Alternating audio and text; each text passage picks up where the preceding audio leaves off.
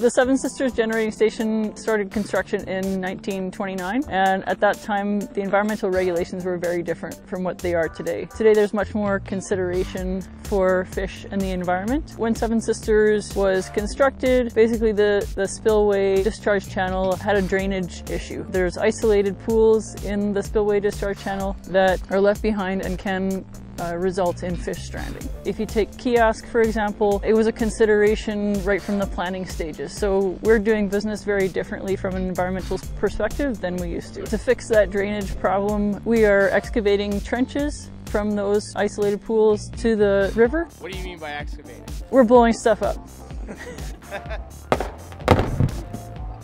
As the spillway discharge channel dewaters, those pools will dewater as well. Those pools will not exist anymore after this project. It came to the attention of the Environmental Licensing and Protection Department in 2015. Uh, so since we found out in 2015, we've been taking a number of steps to try to mitigate that. We've made it part of our procedure to salvage the fish after a spill event. So we go out on the spillway, look to see if there's any fish stranded and move them back to the river. This isn't always possible because there are safety concerns, like when the weather's cold and it's icy or even in the summer there's algae that makes it treacherous uh, out here. This project is really important as a long-term solution. The fish salvage is what we've been doing in the meantime, but this will provide a long-term solution that will prevent fish from becoming stranded in the first place.